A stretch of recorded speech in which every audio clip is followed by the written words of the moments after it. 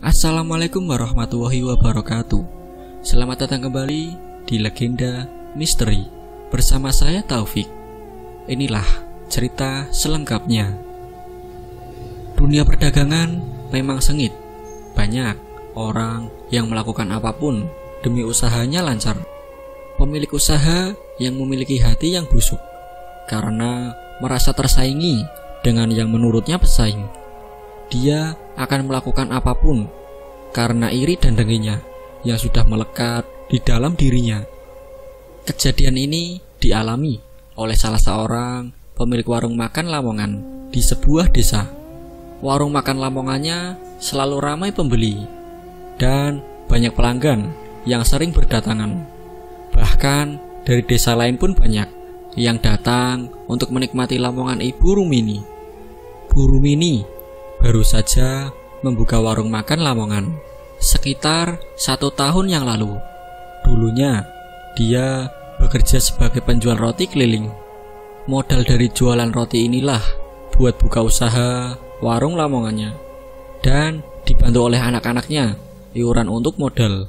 Ini membuat warung makan Lamongan berada di pinggir jalan raya yang tempatnya sangat strategis dan lebih banyak diminati para pengendara jalanan yang melewati jalan raya. Banyak juga para sopir truk, bis yang lalu lalang mampir ke warung makan lamongannya Bu Rumini. Bu Rumini berjualan dibantu oleh anak keduanya yang bernama Mbak Santi. Dia belum menikah.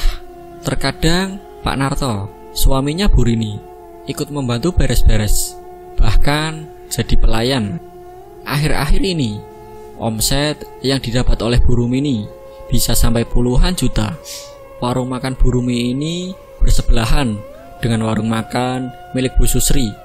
Jaraknya sekitar 20 meter dari warung makan Lamongan Burumi ini. Warung makan Lamongan milik Bu Sursi ini sudah jauh lebih dulu berjualan. Sudah sekitar enam tahunan jualan warung makan Lamongannya. Dulunya selalu ramai pembeli akan tetapi, semenjak ada burung mini, warung Bu Sursi jadi semakin sepi pembeli. Karena pembeli dan pelanggannya berpindah haluan ke warungnya burung mini. Karena memang masakannya burung mini katanya lebih enak daripada warung makannya Bu Sursi. Padahal dulu warungnya Bu Sursi sangat terkenal masakannya yang enak. Namun ada yang lebih enak lagi. Bu Susri dan Bu Rumini kebetulan rumahnya bertetanggaan. Hanya berjarak lima rumah di gangnya. Sebelum Bu Rumini membuka usaha warungnya, Bu Rumini dan Bu Susri akur-akur saja. Tapi semenjak Bu Rumini membuka usaha yang sama dengan Bu Susri, mereka jadi tidak pernah saling menyapa satu sama lain. Namun, hal itu tidak membuat Bu Rumini patah semangat dengan omong-omongan tetangganya yang dihasut oleh Bu Susri tentang burung mini yang menyaingi warung makan Lamongan Bu Susri. Warung makan aku ini tidak ada yang bisa menyaingi, ucap Bu Susri. Singkat cerita, warung makan burung mini ini buka lebih awal dari biasanya, yaitu sekitar pukul 3 sore. Biasanya warung makan burung mini ini buka pukul 5 sore. Dan siapa sangka Buka lebih awal, sudah ada banyak pembeli yang berdatangan mengantri. Padahal masakannya belum masak semua. Terpaksa pembelinya harus menunggu dulu masakannya matang. Sampai Mbak Santi dan Pak Narto ini kewalahan harus masak dan menyiapkan bahan-bahan yang lebih cepat. Sebentar ya Pak, Ibu, sabar, masakannya belum matang, ucap burung ini. Karena warung makan lamongannya burung ini Masakannya selalu dadakan, langsung di tempat warungnya. Tidak dimasak terlebih dahulu di rumah. Yang disiapkan hanya bumbu-bumbu masakannya saja. Beberapa menit kemudian, akhirnya masakannya matang dan para pembeli pun kedapatan bagian masing-masing. Warung burung mini ini biasanya buka sampai jam 10 malam. Tapi kalau malam minggu, biasanya buka lebih lama yaitu sampai jam 12 malam. Jarak rumah ke warung makannya tidak terlalu jauh. Mereka bertiga biasanya naik motor dari rumah ke warung. Bu Rumi ini berboncengan dengan Pak Narto, sedangkan Mbak Santi biasanya naik motor sendirian dengan perlengkapan masakannya yang dibawa dari rumah. Jalanan menuju ke warung makannya dari rumah harus melewati persawahan, perkebunan, dan kuburan. Singkat cerita, saat itu Bu Rumini pergi ke sebuah kebun. Dia pergi ke kebun tersebut untuk daun kemangi untuk persediaan lalapan warung makannya. Bu Rumini pergi ke kebun tersebut sendirian. Karena memang kebun itu banyak sekali pohon kemangi yang sengaja ditanam. Apalagi kebun tersebut terbuka untuk siapa pun yang akan ke kebun itu. Dengan membawa tas keranjang yang berukuran sedang. Burung ini memetik daun kemangi dan dimasukkan ke dalam tas tersebut. Tak terasa, daun kemangi tersebut sudah memenuhi setengah tas keranjangnya. Buru ini pun istirahat untuk melepas lelahnya karena panas terik matahari yang berada tepat di ubun-ubun. Dia duduk di atas tanah sambil mengibas-ngibaskan caping topinya untuk mengusir rasa gerahnya. Tiba-tiba saja perut Burim ini terasa keroncongan. Memang, sebelum berangkat, dia belum makan siang. Karena dari siang, dia dan Mbak Santi sibuk menyiapkan bumbu-bumbu untuk bahan masakannya di warung. Biasanya yang mencari daun kemangi adalah Pak Narto. Tapi karena Pak Narto sedang tidak enak badan, jadi Burum ini sendirilah yang mencari kemangi. Sedangkan Mbak Santi sedang belanja bahan yang kurang. Burung ini bersender di bawah pohon pepaya.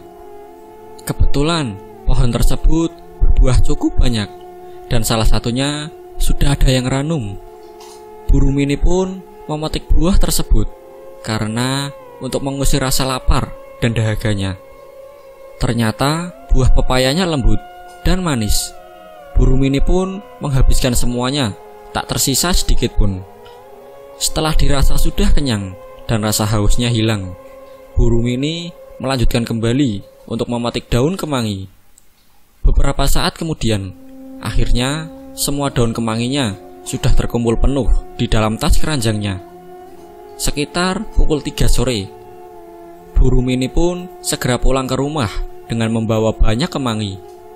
Biasanya, burung ini mencari daun kemangi tersebut seminggu sekali dan sekali memetik langsung banyak. Singkat cerita, hari ini burung ini membuka warung lamongannya sedikit lebih lambat, sekitar pukul setengah tujuh malam rencananya. Tiba-tiba saja habis maghrib, burung ini mengeluh kalau perutnya sakit. Dia sampai bolak-balik ke toilet untuk buang air besar. Ibu kenapa bu? Tanya Mbak Santi. Gak tahu nduk, tiba-tiba perutnya mules terus. Jawab ibu. Baru keluar dari toilet, Mbak Santi mendapati ibunya telah jatuh terkapar di lantai. Bu, ya Allah ibu, teriak Mbak Santi. Mbak Santi pun memanggil-manggil bapaknya untuk meminta pertolongan. Setelah bapak datang, burung ini langsung digendong bapak dipindah masuk ke kamar. Ibu kenapa ini San? Tanya Pak Narto. Gak tahu pak, Tadi aku lihat ibu sudah pingsan, jawabnya. Melihat kejadian ini, akhirnya warung makan burung ini terpaksa hari ini tutup sementara. Tiba-tiba burung ini terbangun, tapi dia sepertinya kesurupan karena matanya melotot dan lidahnya dijulurkan ke depan seperti ular. Kepalanya sambil bergeleng-geleng. Pak, ini gimana pak? Ibu kok bisa gini? Ucap Mbak Santi dengan meneteskan air matanya. Kamu tunggu di sini sebentar, jagain ibu. Bapak mau pergi dulu, ucap Pak Narto. Mbak Santi pun menjaga burung ini di kamarnya. Sedangkan Pak Narto pergi entah ke mana. Ternyata Pak Narto pergi ke salah satu orang pintar yang ada di kampungnya untuk meminta pertolongan. Assalamualaikum Pak Kiai, ucap Pak Narto. Waalaikumsalam, ada apa Pak Narto? Tanya Pak Kiai. Tolong Pak Kiai, tolong saya. Teriaknya. Tenang dulu Pak, minta tolong apa? Tanyanya. Istri saya Pak, dia seperti kesurupan, jawab Pak Narto. Akhirnya Pak Kiai pun ikut pergi dengan Pak Narto ke rumahnya untuk membantu Bu Rumini. Saat melihat kedatangan Pak Kiai, tiba-tiba saja Bu Rumini teriak-teriak dan memberontak. Pergi, pergi, teriaknya pada Kiai. Pak Kiai pun menanyakan kepada Pak Narto kejadian pertama kalinya. Ini kejadian awalnya bagaimana Pak? Tanya Pak Kiai. Tidak tahu Pak. Sejak tadi dia itu bolak-balik kamar mandi, mengeluh perutnya sakit. Tiba-tiba saat keluar dari WC, dia langsung pingsan. Jawab Pak Narto. Pak Kiai pun membacakan doa-doa pada segelas air putih. Lalu air putih itu diusapkan pada wajahnya burung mini. Dan akhirnya burung mini sudah tidak seperti sebelumnya. Pak Narto kira burung mini sudah sembuh. Malam itu juga, burung ini tidur lebih awal. Keesokan harinya, sudah biasa saja, tidak ada kejadian aneh yang menimpanya. Akan tetapi, setiap sehabis maghrib, burung mini ini selalu bolak-balik ke kamar mandi, dan kejadiannya sama seperti yang kemarin. Dia pingsan lagi, dan matanya melotot serta lidahnya dijulurkan. Pak Narto pun mencari orang pintar yang lain lagi. Kali ini Pak Narto pergi ke tempat dukun yang ada di desanya. Mbah Dukun merapalkan mantranya dan berkomat kamit dengan memegangi kepalanya burung mini. Burung mini pun teriak-teriak kesakitan. Kamu siapa? Tanya Mbah Dukun. Aku Raja Siruman Ular, jawab burung mini. Dari mana asalmu? Tanya Mbah Dukun. Dari tempat dia ambil daun kemangi, jawabnya. Kenapa kamu masuk ke dalam tubuh orang ini? Tanya Mbah Dukun lagi. aku mau jadikan dia istriku, jawabnya. Setelah mengetahui itu, Mbah Dukun kembali merapalkan mantranya dan menyemburkan air putih pada wajahnya burung mini. Seketika, burung mini ambruk pingsan yang sebelumnya akan menyerang Mbah Dukun. Kata Mbah Dukun, ada seseorang yang usil kepada burung ini karena punya dendam dan iri kepada burung ini. Pak Narto seketika berpikir dan dia pun tahu siapa yang melakukan ini semua. Sudah dua hari ini warung makan Lamongan burung ini tidak buka. Para pembeli dan pelanggannya akhirnya berdatangan ke warungnya milik Bu Susri. Hari ketiga, Burung ini tidak ada gangguan apa-apa lagi, hanya merasakan pusing dan mual saja. Keluhannya itu pun tidak bisa untuk membuka warung makannya. Akhirnya, warungnya harus tutup lagi. Di hari ketiga setelah kejadian itu, malam harinya burung ini melihat sesuatu dari pojok kamarnya. Dia melihat ada sosok seperti manusia, tetapi wajahnya berbentuk ular. Sosok ular itu berpawakan laki-laki. Dia seperti akan mendekati ke arahnya burung mini. Pergi, pergi, teriak burung mini. Pak Narto dan Mbak Santi yang berada di depan mendengar teriakan burung mini. Akhirnya datang ke kamarnya. Ada apa bu? Tanya Mbak Santi. Tapi burung mini tidak menjawab dan wajahnya seperti ketakutan Mbak Santi pun memeluk tubuhnya burung ini. Sedangkan Pak Narto membacakan doa-doa. Setelah burung ini sedikit lebih tenang, burung ini akhirnya menceritakan semua kepada Pak Narto dan Mbak Santi. Tadi ada sosok laki-laki dengan wajah ular, ucap burung ini. Dari kejadian itu, akhirnya burung ini sudah mendapat gangguan-gangguan lagi. Dia pun bisa berjualan lagi namun, pembelinya jadi lebih sepi dari sebelumnya. Malah, sekarang yang ramai itu warung makan lamongannya Bu Susri. Singkat cerita, Mbak Santi dipersunting oleh kekasihnya dan mereka sekarang sudah menikah. Tiga bulan kemudian, Mbak Santi sekarang tengah mengandung anak pertamanya. Usia kandungannya baru dua bulan. Suaminya Mbak Santi bekerja di sebuah instansi swasta sebagai karyawan swasta. Sedangkan Mbak Santi sampai sekarang masih saja membantu ibunya. Padahal sudah dilarang buru mini, tapi dia masih saja ngeyel. Suatu ketika, saat Mbak Santi pulang dari warung makan Lamongan ibunya, dia naik motor sendirian, melewati kuburan, dan jalanannya pun sepi.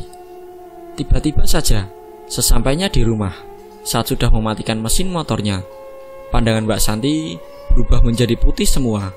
Bahkan rumahnya pun tidak terlihat oleh mata Mbak Santi. Semua ruangan rumahnya putih, semua seperti cahaya yang terang.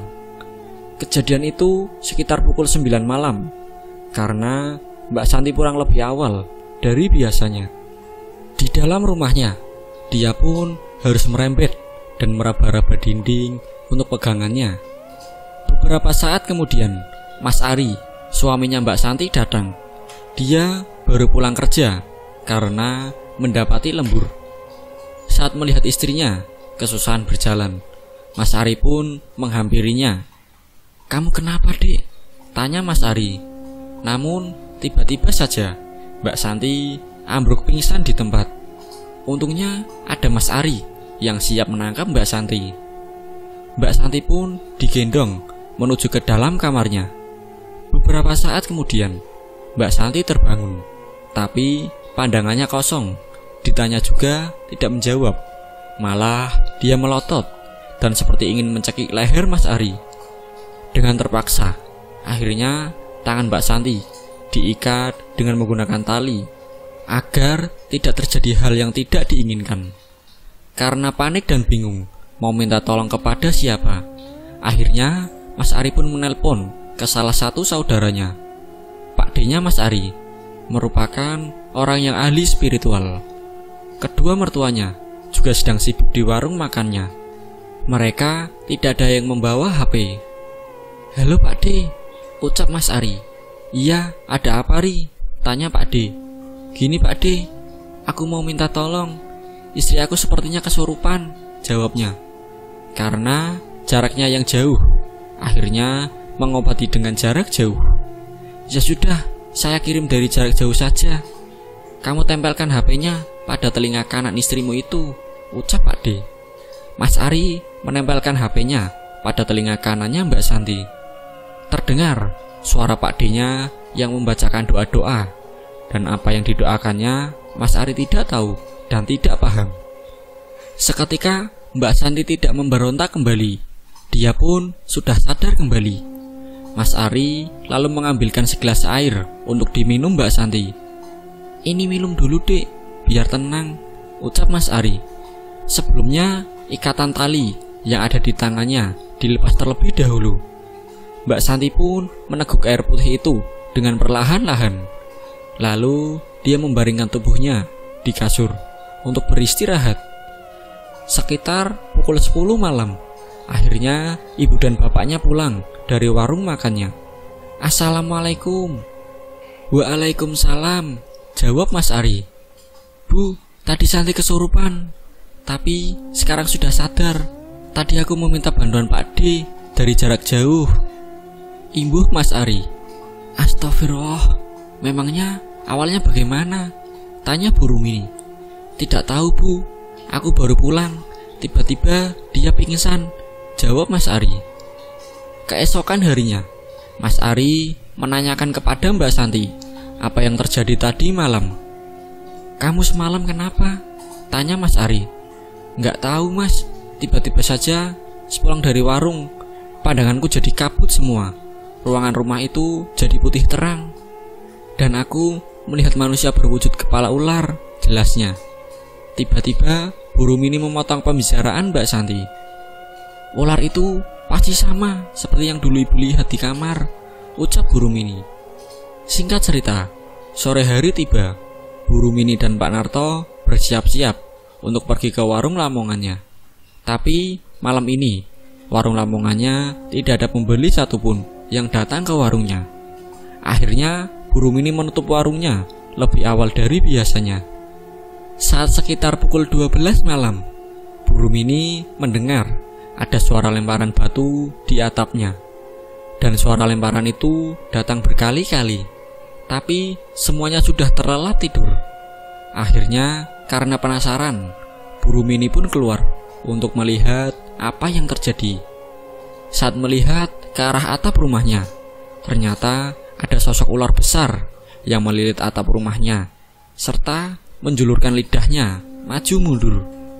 Melihat sosok ular besar itu, Buru Mini seketika gemeteran dan langkah kakinya terasa berat dan susah digerakkan. Buru Mini terus membaca doa-doa dengan tubuhnya yang mulai keringatan dingin. Tiba-tiba saja, ular besar itu menghilang entah ke mana. Buru Mini pun kembali ke kamarnya, berharap segera tidur. Sekitar pukul 3 pagi, Mbak Santi tiba-tiba teriak-teriak lagi, seperti orang kesurupan. Bahkan, dia juga menatap ke arah Mas Ari dengan tatapan tajam. Mas Ari pun terkejut melihat istrinya yang kumat lagi. Mas Ari benar-benar bingung saat itu karena tidak tahu harus meminta pertolongan kepada siapa. Karena posisinya masih jam 3 dini hari. Akhirnya mau tidak mau, Mas Ari menghubungi Pak D-nya lagi. Dan untungnya Pak D-nya dengan senang hati mengangkat teleponnya dari Mas Ari. Ada apa Ari? Tanya Pak D. Istri saya kesurupan lagi Pak D, jawabnya. Ya sudah, bawa sini saja sekarang biar lebih mudah untuk mengobatinya. Ucap Pak D. Dengan perasaan tidak enak hati, Mas Ari terpaksa membangunkan kedua mertuanya untuk meminta bantuan. Tok-tok, Pak, Bu. Akhirnya Pak Narto membukakan pintu kamarnya dengan mengucap kedua matanya. Ada apa, Ri? Tanya Pak Narto. Santi, Pak. Santi, tolongin, Pak. Ucap Mas Ari. Pak Narto disusul buru mini datang ke kamarnya Mbak Santi. Kemudian mereka semua membawa Mbak Santi ke tempat Pak D-nya yang berada di kota. Sesampainya di rumah Pak D, Mbak Santi dibawa ke ruang prakteknya. Karena memang Pak D-nya ini seorang ahli spiritual yang dipercaya oleh warga sekitarnya. Mbak Santi dibaringkan pada kasur yang sudah disediakan. Pak D lalu merapalkan mantranya dengan terus memegangi kepalanya Mbak Santi. Mbak Santi pun teriak-teriak dan memberontak. Mas Ari dan Pak Narto memegangi kedua tangannya. Kamu siapa? Tanya Pak D. Bukan urusanmu, jawabnya. Kalau tidak mau jawab dan tidak mau keluar dari tubuhnya orang ini, nanti kamu akan masuk ke dalam botol, ucap Pak D. Jawab, kamu siapa? Dari mana? Tambah Pak D. Sosok yang ada di dalam tubuhnya Mbak Santi. Dia malah tertawa. Hahaha. Jawab cepat. Saya masukkan ke dalam sini saja berarti. Ucap Ade dengan menunjukkan sebuah botol kaca seperti botol sirup. Karena takut dimasukkan ke dalam botol tersebut. Akhirnya, sosok yang ada di dalam tubuhnya Mbak Santi langsung menjawab, "Aku disuruh. Sebenarnya tidak mau." Tapi dia maksa, jawabnya. Kalau tidak mau, kenapa kamu lakukan ini? Ucap Ade. Dipaksa, jawabnya singkat. Kalau gitu, kamu saya keluarkan saja ya dari orang ini. Kasihan dia, jawab Ade. Tidak mau, teriaknya. Tanpa ampun, Pak D merapalkan mantranya dan mengeluarkan sosok yang ada di dalam tubuhnya Mbak Santi. Kata Pak D, ternyata sosok ini dikirim oleh seseorang yang membenci keluarganya burung ini. Sebenarnya akan dikirim pada burung ini, tapi selalu gagal karena burung ini selalu berdoa meminta perlindungan. Jadi sosok ini dikirim untuk Mbak Santi untuk menghancurkan keluarga secara perlahan-lahan. Seketika Mbak Santi tersadar, namun tatapannya masih kosong dan seperti linglung. Tiba-tiba saja Mbak Santi bilang kepada Mas Ari kalau dia kebelet pipis. Mas, aku pengen buang air kecil, ucapnya. Akhirnya Mbak Santi dipapah oleh Mas Ari menuju ke dalam kamar mandi. Akan tetapi, ada yang aneh dengan Mbak Santi. Dia tidak menutup pintu kamar mandinya. Malah, dia hanya jongkok saja, tidak buang air kecil. Loh, katanya mau pipis, kok malah jongkok? Ucap Mas Ari. Seketika, Mas Ari terkejut melihat mukanya yang berubah menyeramkan. Karena tahu ini bukan Mbak Santi, akhirnya Mas Ari teriak memanggil Pak D. Pak D, tolong Pak D, teriak Mas Ari. Pak D, ibu dan bapak ikut datang ke kamar mandi. Oh, bandel ya kamu, ucap Pak D pada sosok yang ada di dalam tubuhnya Mbak Santi. Sosok yang ada di dalam tubuhnya Mbak Santi adalah sosok kuntilanak merah yang berambut panjang. Ayo, bawa ke tempat kasur lagi, ucap Pak D. Mas Ari pun menggendong Mbak Santi yang terus memberontak. Lepas, lepas, teriak Mbak Santi. Setelah diletakkan di kasur, Mbak Santi langsung dibacakan oleh Pak D. Dan kali ini sosok itu benar-benar dimasukkan ke dalam botol karena Pak D sudah naik pitam dengan sosok yang ada di dalam tubuhnya Mbak Santi. Sosok kuntilanak ini tadinya ada di kuburan yang dilewati Mbak Santi malam itu. Sosok ini memang sudah mengincar Mbak Santi sejak lama karena dia dipaksa oleh pengirimnya melalui dukun. Saat Mbak Santi melewati kuburan, sosok kuntilanak langsung merasuki ke dalam tubuhnya Mbak Santi. Singkat cerita, Mbak Santi sudah sembuh, akan tetapi dia merasakan sakit pada perutnya yang teramat sakit. Akhirnya, Mbak Santi dibawa ke rumah sakit untuk dicek kandungannya yang masih muda itu. Saat diperiksa dokter, katanya janinnya tidak bisa diselamatkan dan harus segera dioperasi. Mas Ari pun menyetujuinya untuk dilakukannya operasi pengangkatan janinnya karena merasa ada kejanggalan pada Mbak Santi. Mas Ari menanyakan kembali kepada Pak D. Kata Pak D, ternyata sebelumnya sosok kuntilanak itu telah merusak dan memakan janinnya Mbak Santi. Janinnya Mbak Santi ini katanya dijadikan tumbal pesugihan. Benar-benar kejam dan ingin menghancurkan keluarganya burung ini. Dengan mengambil janinnya Mbak Santi dijadikan tumbal pesugihan penglaris. Maka usaha yang dijalani si pengirim itu akan menjadi laris manis dan menjadi kaya raya mendadak. Karena merasa tidak bisa seperti ini, Mbak Santi dan keluarganya selalu melakukan sholat malam untuk meminta pertolongan kepada Allah Subhanahu wa taala. Mereka sebenarnya sudah tahu siapa orang yang sengaja menghancurkan keluarganya burung ini. Akan tetapi, keluarganya memilih untuk tidak dendam. Suatu ketika, warung makannya burung ini buka lebih awal. Masih saja sepi pembeli. Semua pelanggannya berdatangan ke warung makannya Bu Susri. Burung ini pun terlihat lesu dan berputus asa. Tetapi Pak Narto memberikan saran kepada istrinya. Sudahlah bu, yang sabar, kita harus ikhlas. Mungkin saja bukan rezeki kita saat ini. Ucap Pak Narto. Tapi Pak, jawabnya, besok kita pergi ke orang pintar untuk menanyakan semua yang terjadi pada warung kita. Ucap Pak Narto. Akhirnya, burung ini pun menyetujui untuk pergi ke orang pintar besoknya. Keesokan harinya, burung ini dan Pak Narto mendatangi ke rumah salah satu Pak Kiai. Sesampainya di rumah Pak Kiai, mereka disambut dengan ramah oleh Pak Kiai. Assalamualaikum Pak, ucap salam keduanya. Waalaikumsalam, silahkan masuk Pak, Bu, jawab Pak Kiai. Ada apa keperluan kalian? Tanyanya. Jadi gini Pak, akhir-akhir ini warung makan saya ini sepi pembeli dan pelanggan pun semuanya ke warung sebelah, ucap burung ini. Setelah menceritakan kepada Pak Kiai. Lalu Pak Kiai meninggalkan mereka masuk ke dalam. Pak Kiai melaksanakan sholat dan mendoakan sebotol air putih. Lalu Pak Kiai kembali lagi ke depan, memberikan sebuah botol air putih itu kepada burung ini. Sepulangnya dari sini, air putih itu nantinya dicampurkan dengan garam ya bu, lalu disiramkan ke sekeliling warung makan ibu. Ucap Pak Kiai. Sebenarnya apa yang terjadi Pak Kiai dengan warung saya? Tanya burung ini, penasaran.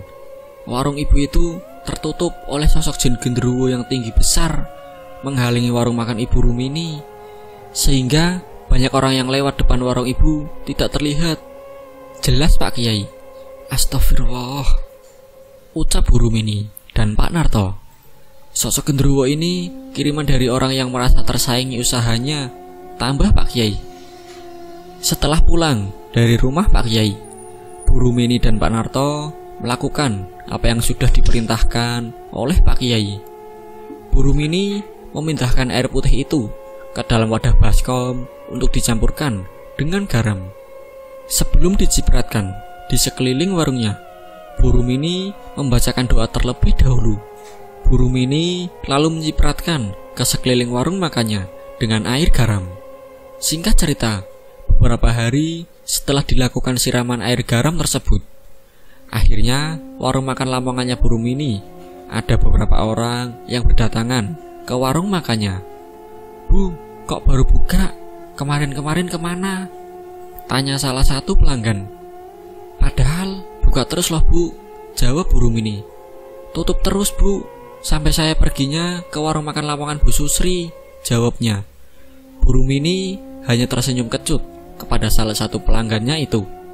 Saat pembeli dan pelanggannya yang mulai menyantap ayam lamongannya, ada yang nyeletuk kepada burung ini. Bu, ayam basi kok dijual sih? Jangan-jangan ini ayam dari minggu lalu, ucapnya. Enggak kok bu, ini baru beli tadi di pasar dan masih fresh, baru juga digoreng tadi, ucap burung ini. Iya loh, ini banyak ulatnya di dalam ayam, menjijikan sekali. Baunya juga busuk. Rasanya juga seperti nasi basi, celetuk pembeli lain. Burung ini melihat ke makanan pembeli tersebut dan memang benar, busuk dan banyak ulatnya. Gimana sih ibu ini tidak menjaga kualitas makanannya? Kalau gini, saya malas beli lagi di sini, ujar pembeli. Semua nasi dan lauk ayam lamongannya terlihat banyak yang tersisa di atas piringnya. Mereka semua meninggalkan warung makan lamongannya burung ini dan tidak membayar. Padahal burung ini dan Pak Narto selalu menjaga sekali kualitas masakannya, bahkan saat memasak karena menggunakan sarung tangan plastik. Tapi entah kenapa, tiba-tiba masakannya berubah menjadi busuk. Buru Mini dan Pak Narto hanya bisa berpasrah kepada Allah Subhanahu wa taala. Setiap malam, Buru Mini selalu melaksanakan sholat hajat dan tahajud. Setelah sholat malam, Buru Mini tiba-tiba saja tertidur di atas sajadahnya dan masih menggunakan mukenanya. Tiba-tiba burung ini bermimpi berada di alam lain. Di dalam mimpinya itu, burung ini berada di sebuah perkampungan. Namun, perkampungan itu banyak ularnya dan bahkan ular yang besar. Saat burung ini melihat atap rumah yang berada di kampung tersebut, ular besar itu datang menghampiri burung ini dan melilit tubuhnya hingga kesakitan. Burung ini terus berteriak, minta tolong, dan merintih kesakitan.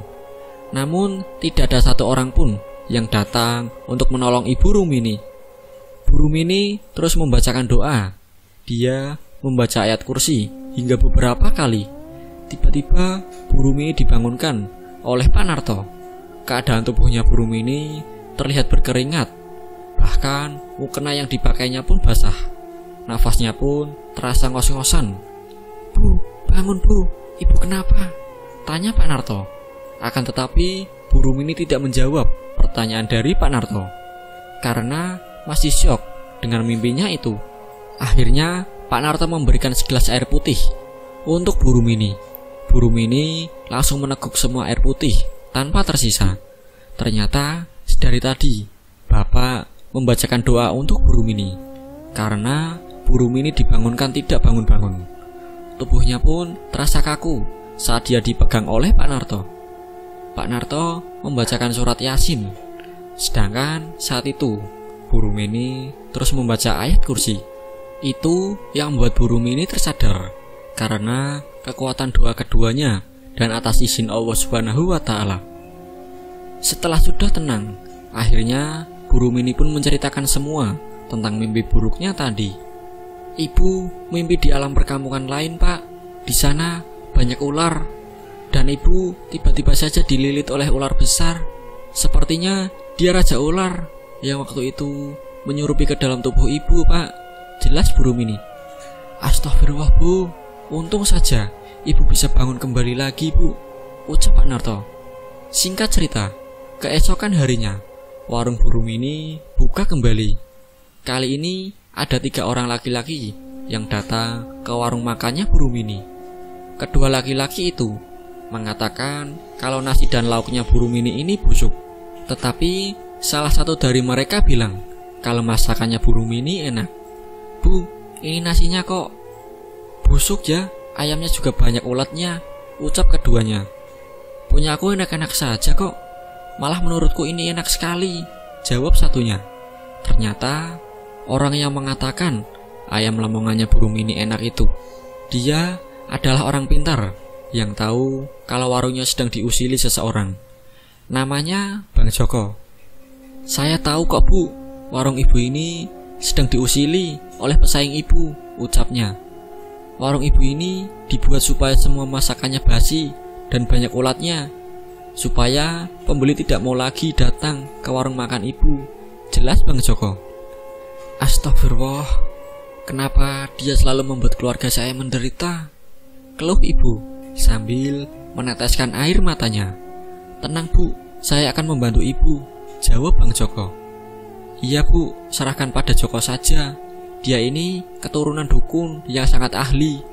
Ilmunya diturunkan kepada dia, Bu. Ujar salah satu temannya. Akhirnya, burung ini pun mengiyakan apa yang dikatakan oleh Bang Joko. Rencananya akan dilakukan besok pagi.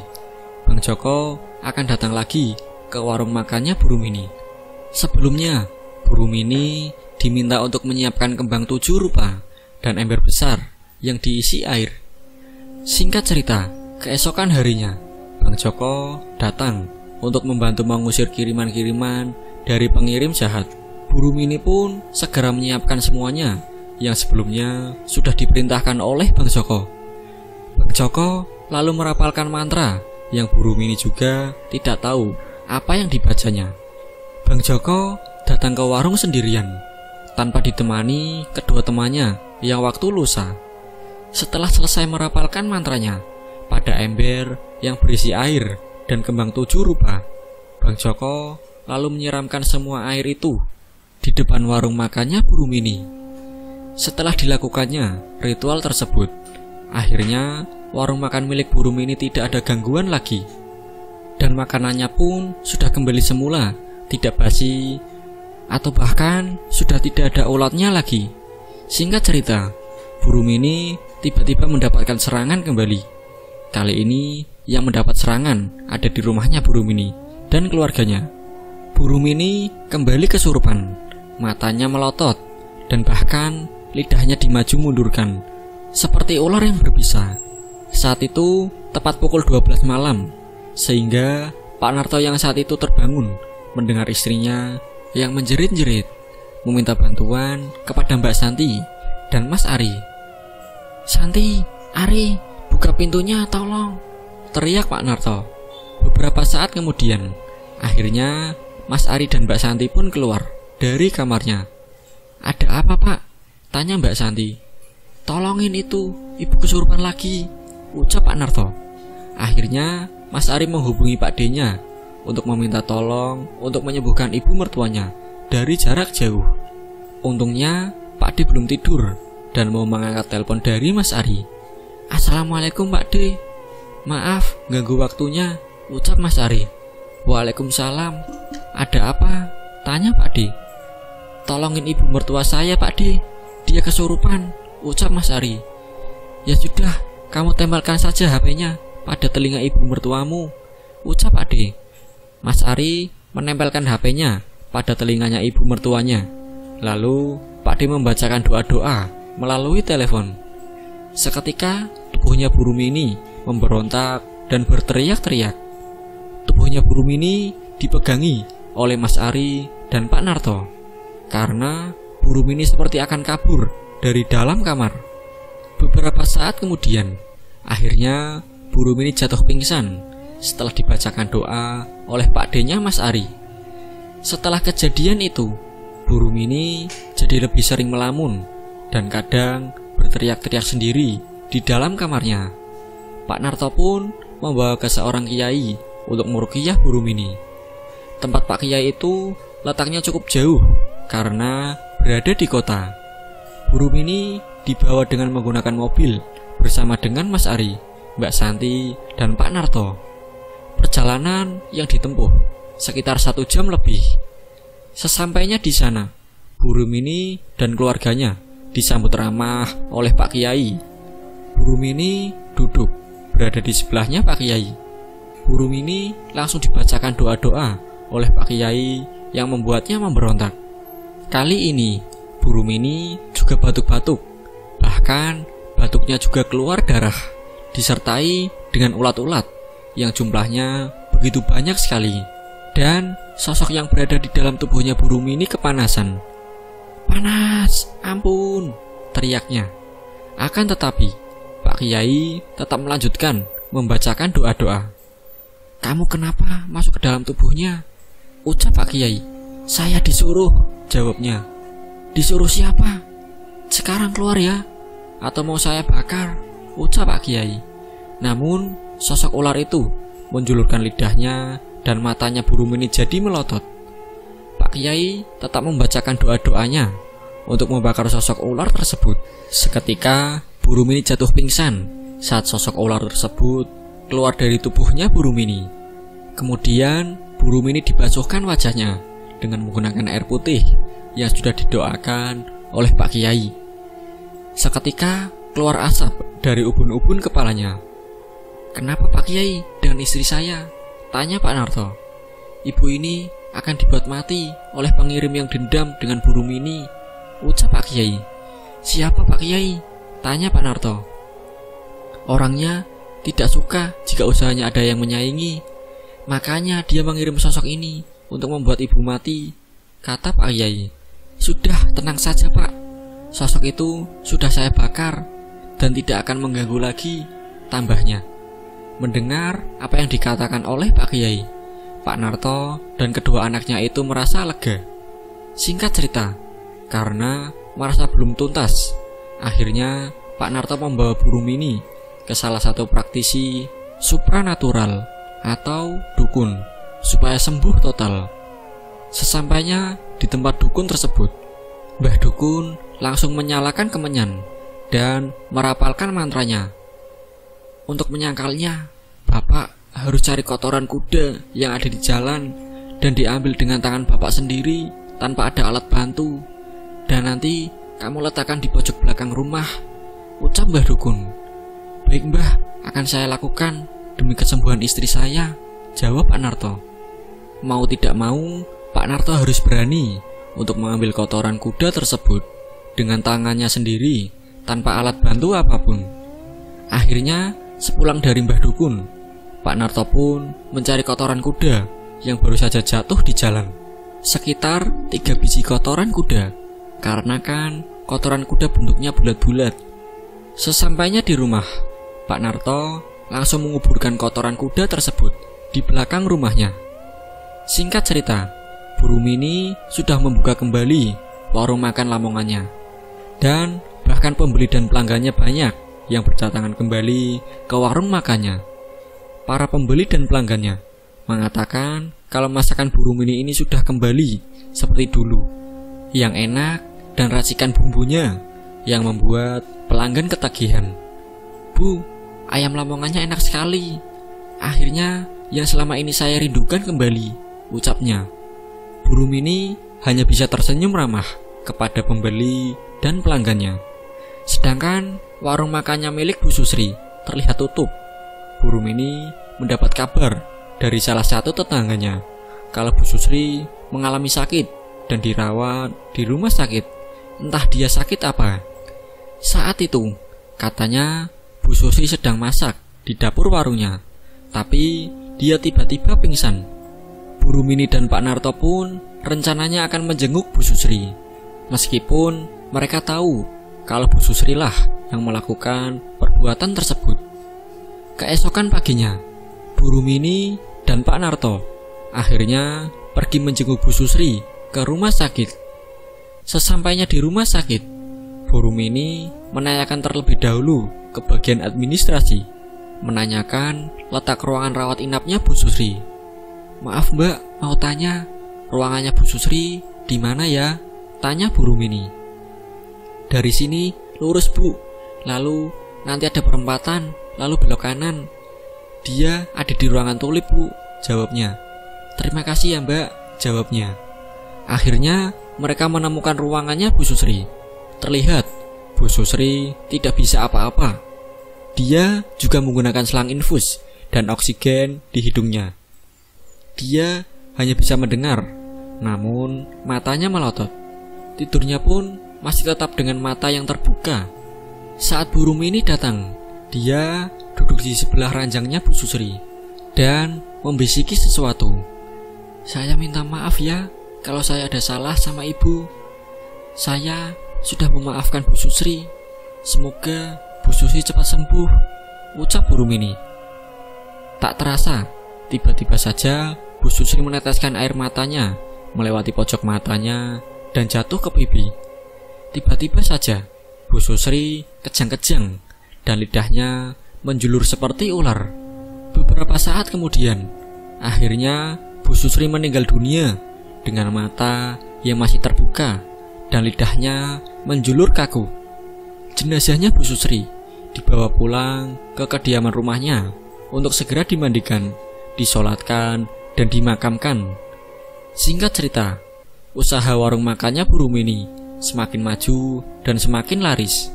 Sedangkan warung makannya Bu Susri sekarang sudah tutup karena tidak ada yang mengurus lagi. Suaminya sekarang menjadi stres dan gila. Dia kalau di depan rumahnya selalu menari-nari sendiri seperti ular. Lidahnya dijulurkan maju mundur.